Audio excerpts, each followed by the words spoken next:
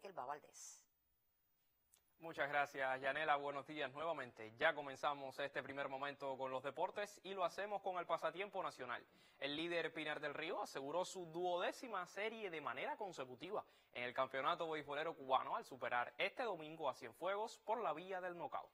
El Tsunami Pativerde arrasó con sus rivales al anotarle 13 carreras en 8 entradas por solo una a sus rivales. Branley Rodríguez lanzó 8 capítulos a ritmo de 9 ponches y una sola carrera permitida, en tanto Lázaro Benítez, Lázaro Emilio Blanco y Luis Pablo Acosta la sacaban del parque.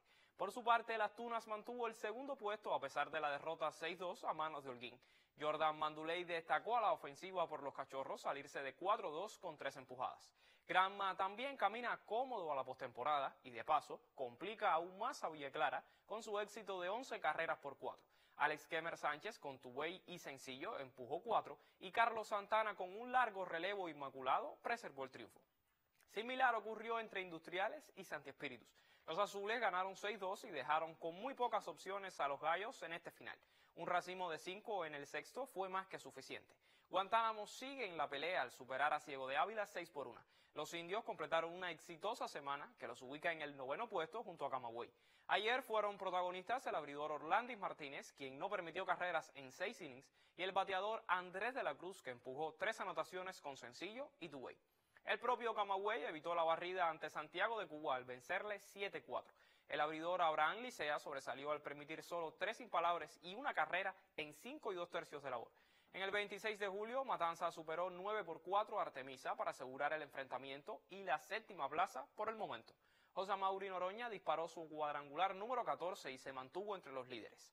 Por último, Mayabeque noqueó a la isla 13-3. El abridor pirata Junior Gamboa fue castigado por la alineación de los huracanes, mientras Yusdel Tuero caminaba a seis capítulos sin permitir limpias. Cambiando al deporte de la malla alta, les comento que la dupla cubana de Noslen Díaz y Jorge Luis Alayo cayó en la final del Challenger de Jablonski, resultado que les dejó con su mejor ubicación en el Tour 2024. Para poner en contexto lo hecho, hay que decir que se dieron ante los checos, actuales campeones del mundo. Los nuestros perdieron el primer parcial 17-21, se repusieron en el segundo con idéntico tanteador para caer en el tiebreak 15-11. Los dirigidos por Álvarez Cutiño avanzaron a la discusión del título al superar 2-1 a los argentinos Nicolás y Tomás Copogroso. Con este desempeño, el principal dúo de Cuba se mantiene en el puesto 19 del ranking mundial y pone en tierra de por medio con las parejas de Chile y Austria, las otras candidatas a llevarse el último cupo para los Juegos Olímpicos. Y con estas buenas nuevas del boli de playa despido este primer momento con los deportes. Buenos días.